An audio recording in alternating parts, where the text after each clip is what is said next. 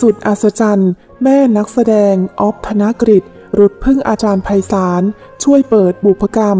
หลังประสบอุบัติเหตุกระโหลกยุบกลายเป็นผู้ป่วยติดเตียง สุดขนลุก อาจารย์ไพศาลเผย อดีตชาติเคยทำกรรมอะไรไว้ ย้อนกลับไปเมื่อช่วงเดือนเมษายน 2565 ที่ผ่านมา